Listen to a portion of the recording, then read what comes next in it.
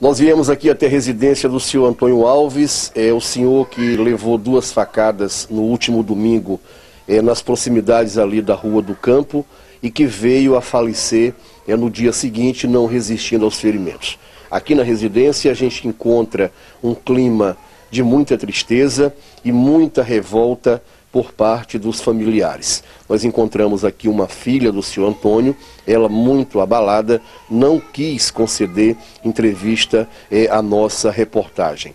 Mas temos aqui uma pessoa que nós não vamos identificar, até por questões de segurança, que era amigo do seu Antônio Alves há mais ou menos 18 anos. 18 anos de uma grande amizade e ele vai só falar para a gente como era o seu Antônio Alves. Como era o seu Antônio Alves, a pessoa dele? Mas para mim ele era trabalhador demais, né?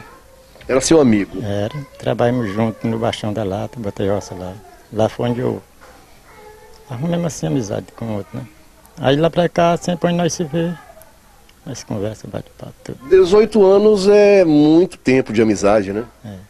Às vezes nós passávamos assim de 5, 6 meses sem se ver, mas na hora que se via era meio E quando o senhor recebeu a notícia, como foi essa notícia para o senhor?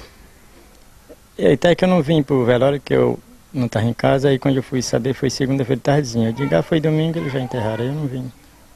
Mas foi uma notícia ruim quando o senhor soube. Certeza, nunca me esqueci, né? Porque, sim, pelo jeito dele, nunca vi ele com confusão com ninguém, né? Como é que era o dia a dia dele? Era um bom pai de família, era um homem trabalhador? Como... é Era trabalhador ele.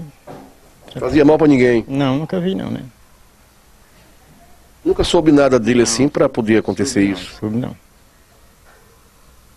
Era uma pessoa que você considerava? Era, com certeza. Muito triste, a gente vê- a gente vê aqui a família muito abalada com tudo isso. né? Com certeza, ele era tranquilo. Ele. Nunca vi falar em confusão dele, não. Trabalhava com roça. Era. Roça. Trabalha com roça, que nem eu também, né? Ele terminava o sexto da roça e roça juquira, fazer cerca, essas coisas assim, para ganhar o pão, né?